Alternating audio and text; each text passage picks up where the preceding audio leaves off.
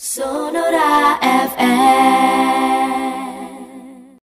Komisi Pemberantasan Korupsi mengumumkan Wali Kota Ambon Richard Lohena Pesi sebagai tersangka kasus dugaan suap terkait pemberian persetujuan izin prinsip pembangunan cabang usaha retail di Kota Ambon tahun 2020 ia ditetapkan tersangka bersama staf tata usaha pimpinan pada Pemkot Ambon, Andrew Erin Hehanusa dan staf Alfamidi Amri. Dilansir dari kompas.com, Ketua KPK Firly Bahuri menjelaskan, dalam proses pengurusan izin pembangunan tersebut, diduga Amri aktif berkomunikasi hingga melakukan pertemuan dengan Richard agar proses perizinan bisa segera disetujui dan diterbitkan. Lanjuti permohonan Amri ini, kemudian Wali Kota Ambon memerintahkan Kadis PUPR Pemkot Ambon untuk segera memproses dan menerbitkan berbagai permohonan izin.